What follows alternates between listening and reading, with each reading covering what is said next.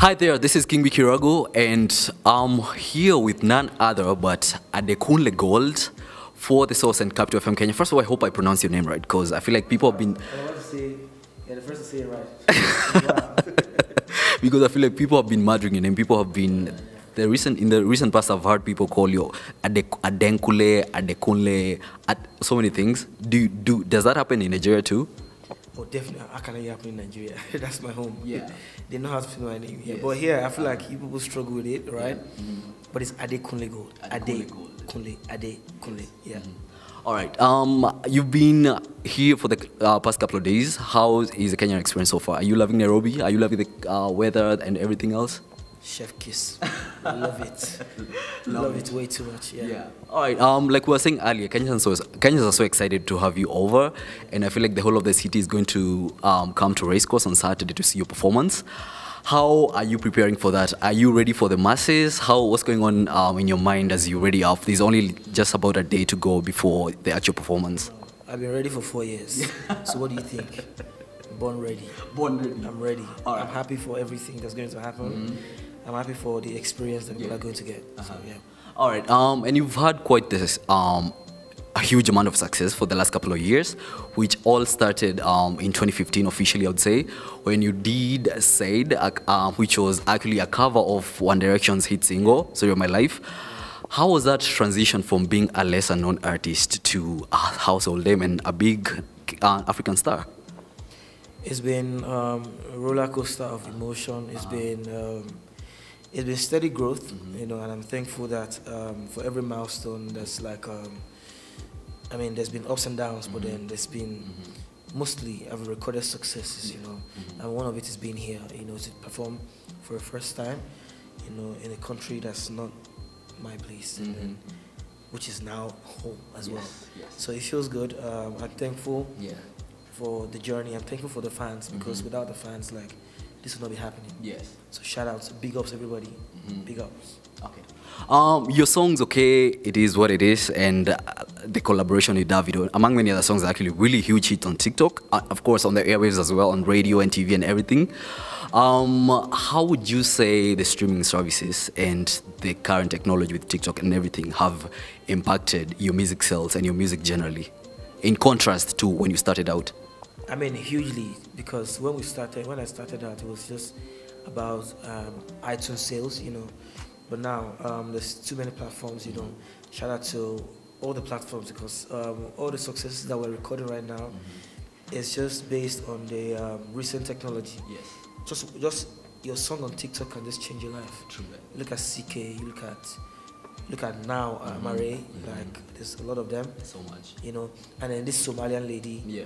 I've forgotten her name, but yeah, see how just one song and then TikTok is changing her life right Yeah. now. It's just like recording like massive views and everything. So I'm thankful for the um, current influx of technology. Like Yeah. um, the impact has been very helpful. Yeah. All right. Um, so you, when you started out, you were signed onto a label, which you later left and started out your own band. And uh, I wonder what your label experience was and what advice you'd probably give an artist who's coming up right now, a budding artist, trying to get a record deal. What would you tell them? How was your record label um, experience, and what would you tell somebody trying to get signed? You know, I see other um, artists complain about labels. I didn't have it that way. Mine was perfect. Yeah. It was good. I'm just going to say to people, yeah, it's good to, I mean, it's good to be signed to the majors. It's good to be signed to any label. Mm-hmm. Just to know that nothing will be handed to you. You need to also work. Mm-hmm. Your label will not brush your teeth for you. Yes. You will do it yourself. Yeah.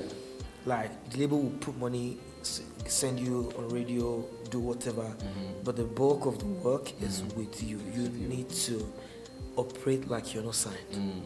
That's the best way to go about it. All right. Um, Mr. Eazi, your fellow Nigerian superstar, recently made um, a very interesting statement that had Kenyans talking. He said that, which is very interesting now that you're here to perform, he said that Nigerians, Nigerian musicians make a lot of money in Kenya.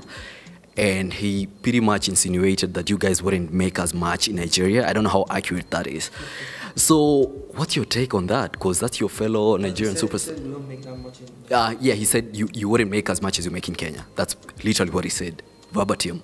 So what's your take on that? That's your fellow countryman. I mean, I, don't know what he's talking about, but hey, to each his own. Yeah, I, don't, I don't want to touch on that. Mm-hmm. All right. Um, now, Essence was a huge Nigerian hit, and it pretty much was branded the song of the summer worldwide, which is no mean feat, of course.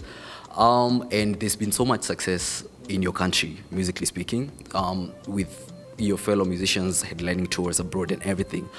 What would you attribute that kind of Nigerian music success to? Like, what would you say is why you guys have succeeded so much? You're here, people love you, people know your music, people sing, people can sing your songs word for word. Your concert is gonna be full to the brim. What would you say is what you would attribute that kind of success to? First of all, I think uh, we need to give credit to the artists. Like, the music is great, hands down. Like, the music that's coming out of Nigeria, coming out of Africa generally, mm-hmm. the music is fantastic. That's so. I mean, I don't think there will be any success if the if, this, if the music is not good. Yeah. Right, but then also there's the work. Mm-hmm. Nigerian artists are there to say. I mean, I can speak for my people mm-hmm. because I know how we also yes. we work the hardest. I tell you for a fact. Yeah. Like one of the reasons, like I came here four years ago to promote, and ever since four years, mm. Ever since I came here, I've been steady, like just sending my music here. Yes. Not just here. Mm. I've done the same in Ghana, places, yes. done the same in Uganda, mm. Tanzania. Mm-hmm. Heck here, I was. I've been in America for like uh, for like for like two years now, mm-hmm. just working the music. Yes. It's the hard work. Yes. It's, uh, the music is good, mm. but then how do you how do people find out about it if yes. it's just if it's good and then you're not pushing it, there's no point. Yeah. So that's what we do. We just go mm-hmm. to territories. We don't ask for permission. We just go, and then we'll make it happen.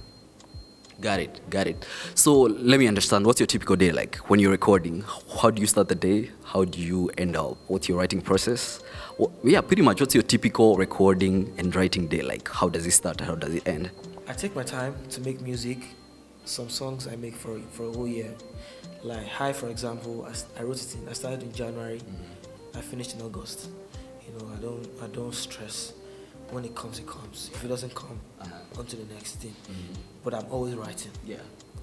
I'm always writing. Some days it just it can just be I just start a song and then not finish it. You know. So um, yeah. Other than that, I'm always I'm on the road. I've been on the road since July. Just been everywhere, mm-hmm. and I'm here now. I'm going to different places as well day in my life is, is interesting. I just need to be uh, ready to have sleepless nights. Yeah. yeah. Yeah. And do you have any particular sources of inspiration for your music? Where do you draw inspiration from? If you want to write a song about something, where do you draw inspiration from? Your own experiences, other people's experiences, or I don't know?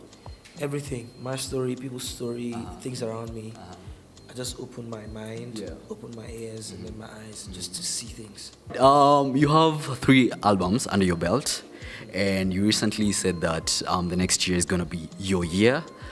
I wonder what that meant, and I wonder what you have cooking. Another another new album, like you've said, collaborations. I, what do you have cooking for the coming year? There's only like about two months to. Bangers upon bangers upon bangers. Uh-huh. You already know how this year went.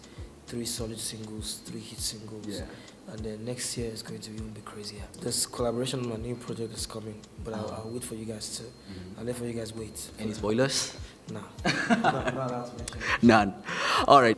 What would be your advice to Kenyan industry players in the industry? Like we've said, there's so much success in Nigeria. Um, and I know a lot of Kenyan musicians look up to many Nigerian musicians. We're doing good here, but of course, you guys are doing excellent what would you what would be your advice to Kenyan industry players, not just musicians, um, promoters, producers, and those kind of people? What would you tell them? What kind of what piece of advice would you tell them when it comes to like industry growth? Yeah. I mean, first of all, start with the media. The media needs to do more. You know, needs to do more pushing mm-hmm. uh, the music. I mean, the, the content here. You know, like the priority should be mm-hmm. Kenyan artists. Like, there's there's no two ways about it. That's how it works, mm-hmm. right? And then the music is already great. Like, what else do you need to do? Um, I tell people it's not enough to, except of course you just want to be uh, the biggest artist here. That's fine. But I mean, for some of us, we don't we don't limit ourselves. You know, I think it's about time you go out. You know, go to ne- neighboring countries. You know, it is Africa. Like, there's, there's too many countries where you can just go to Ghana, come to Nigeria, yeah. come do some promo work That's how, that's how to get your music out there. Yeah. That's how we. That's how most of us get our music. I don't know for other people. Yeah. But that's how I constantly push my music here, Mhm. and I don't just do it here. Mm. Do it everywhere else. Yeah. Just travel randomly. Just wake up, go to the UK, go to Ghana, go to. That's what I do. So Mhm. I feel like more more artists need to do that. But most important, importantly, I think priority need to be placed on the on the music here. Yeah. All right. Um, now, as we wind up, um, what's your parting shot to your fans, your fav- um, your your the people who really love you and your music and everything? What's your parting shot? What do you have to tell them, and what can they expect on Saturday? I was going to say, come out with all your energy. You know, come out, come out, expecting everything. It's going to be amazing. And then love you guys. Thank you very much for supporting me. This means a lot to me. Big.